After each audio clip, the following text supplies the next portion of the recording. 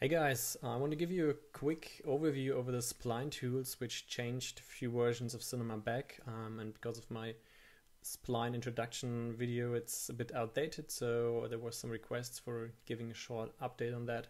So here it is. So whenever you want to draw a spline now in the I think it's up from version R19 maybe R20 I'm not sure about that um, Maxon introduced new a new spline tool and it's actually improved a lot compared to the old one. So you have this spline pen which is actually all you need in most cases and as always if you want to draw a spline I would suggest you go in one of the 2D views to draw a spline. And then you can just go ahead, click and drag and you have exactly the same behavior as in Photoshop or Illustrator if you use the path tool. So this works pretty neatly. You can also have now this close spline function. You see it's uh, symbolized by this small ring. So whenever I click here, you see this spline shape is now closed.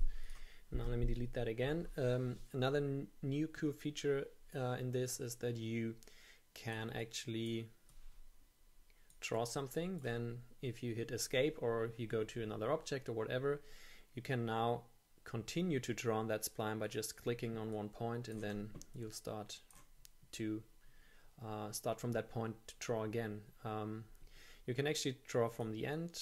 This is something which was a bit more tedious in, in the earlier versions of Cinema, so this is quite an improvement.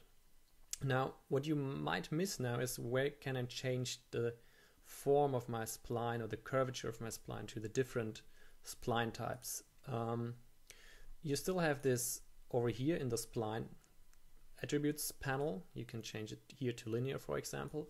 But what you can also do is if you have activated the spline pen, you can go here in the spline pen and say that you want to have a linear shape. Easy as that. Let's see, sometimes uh, there was a little bug I discovered, but now now it works. Um, so you can you can switch between the th things, but as you saw right now, keep in mind that whenever you change something here, and you change the, the type again, you might lose your curvature or your the shape you draw before. So uh, I would suggest to stay in in one type mode here. Another cool thing is that um, you can activate the create a new splines option here. And this is now whenever I draw a new spline, you see that a new spline object will pop up here. So by that I can draw a lot of splines and always have a new spline object.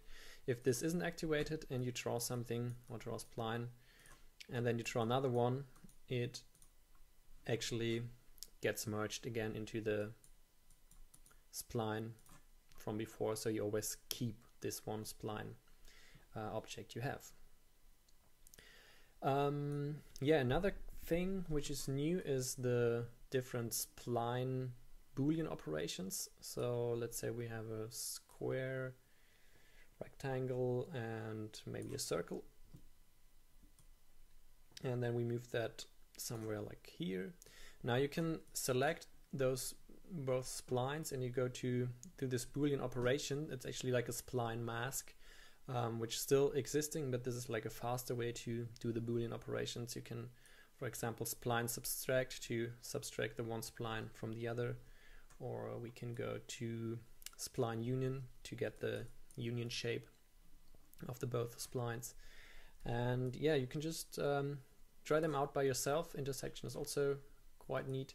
Um, you can use that to further improve the, the splines you're drawing and um, make it makes everything a, a, bit more simple. Yeah that's it um, about the spline tools.